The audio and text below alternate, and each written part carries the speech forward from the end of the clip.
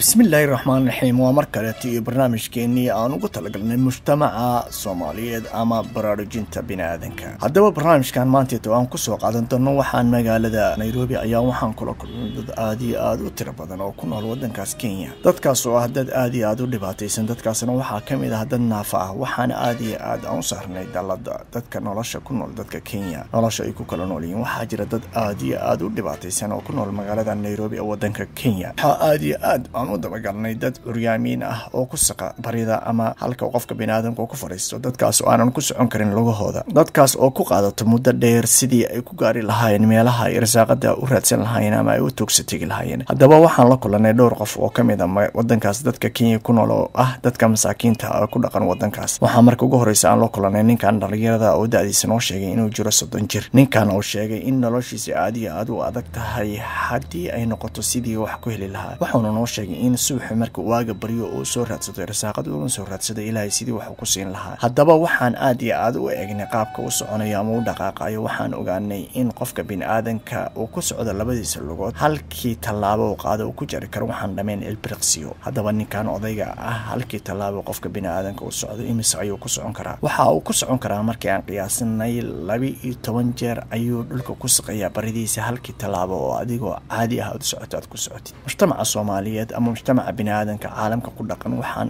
soo bandhignay barnaamijkan amaan ugu soo wacyigelinaynaa sidii ay uga faa'iidaysan lahayn ilaahay lixdiisa laxadoo siiyey haddaba dhowr su'aalood ayaan weydiiyey ninkan odaga. Su'aashii ugu horreysa aan weydiye waxay tahay da'diisa wuxuu noo sheegay inuu jiro soddon jir wax caruuranu lahayn waalidna lahayn ehelna aanu haysanin. Laakiin wuxuu noo sheegay in noloshiisa uu ka dabarto tuugsi uuna ku dabaro qaabkan haddaba waa in aad ku tusaale qaadatid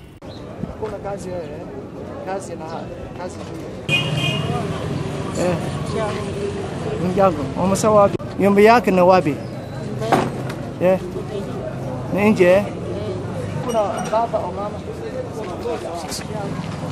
كل باك ياكل